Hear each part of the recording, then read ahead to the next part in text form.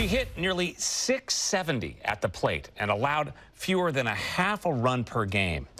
10 shutouts, five no-hitters, four perfect games, and one first-ever state championship with the Bend Lava Bears. Fox 12's Nick Krupke has our high school spotlight with star right-handed pitcher and slugger Addisen Fisher, who earned quite the honor. Gone fishing to quench a thirst for greatness. I was just talking to my mom, like, like this is this is the best week ever. 17-year-old New Bend High School graduate Addisen Fisher was head of the class with a 4.13 GPA and a .36 ERA. People joke I was born with a softball in my hand, and I think it actually like might be true. The National Honor Society member is a three-time Gatorade Softball State Player of the Year, and Addie adds to her trophy case as the best baller in the nation. Congratulations, you won the Gatorade National Softball Player of the Year. Today, the first thing I did was get out of bed and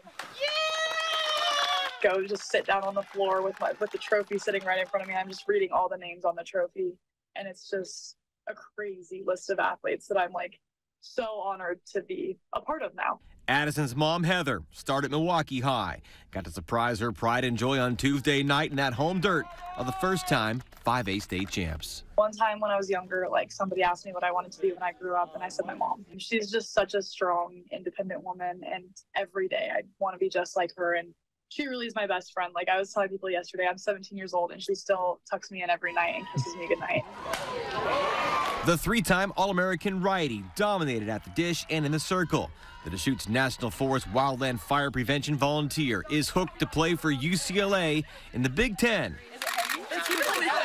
And chase down a big dream with the Bruins and a communication degree. Hopefully someday you'll see me calling some games on TV. A first-time junior Olympian as well this summer, Addie will always call Central Oregon home. This town is is really special, and it's like so beautiful. Every day that I'm driving home from wherever I am in town, like it's my favorite thing. I just like roll down the windows and look at the mountains and really just take it in because it is so beautiful. Westwood's beautiful too, but it isn't Bend.